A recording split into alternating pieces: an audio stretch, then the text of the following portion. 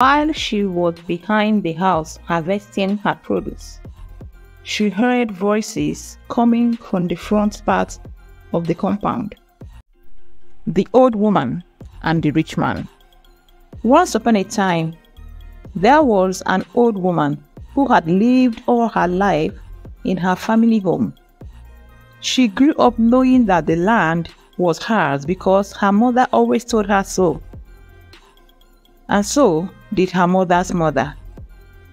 But suddenly, one day, she woke up to a knock at the door.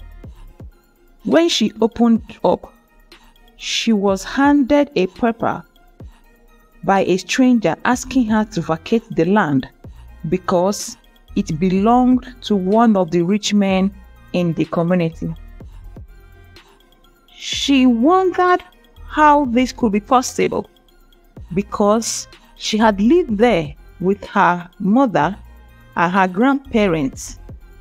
So, why would someone suddenly wake up one morning and claim that her ancestral land now belonged to him? She simply told the messenger that she would be awaiting the rightful owner to come himself. Then, one day, while she was behind the house harvesting her produce, she heard voices coming from the front part of the compound. So she quickly went to see who it was.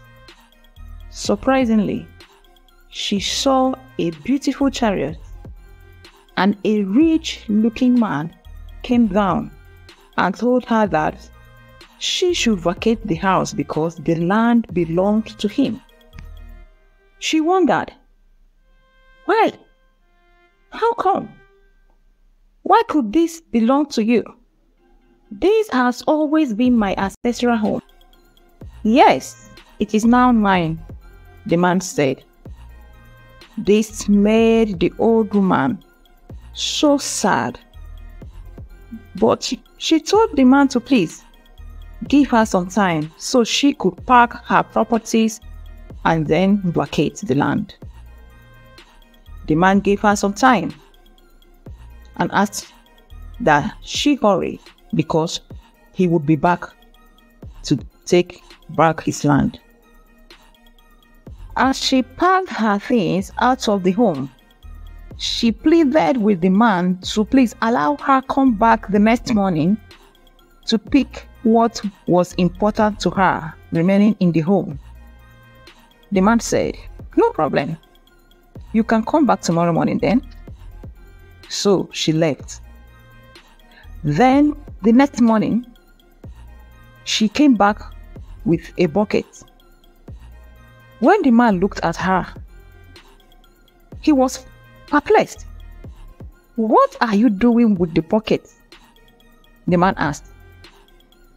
The woman said, Sir, could you please let me take some sand with me because this reminds me of many people of my family who have been buried on this land. Let me just take sand from this home with me as a reminder. The rich man said, No problem. You can have it. So the old woman filled the bucket with sand. But it was so heavy she couldn't carry it. The rich man looked at her. Woman, how do you hope to carry this? The old woman looked at him. I said, Yes, sir. This is quite heavy. And that is how it is in life. We can't carry all this where we live. You claim my land is yours. You claim people's lands and properties as yours. But how many do you need with you when you leave the earth?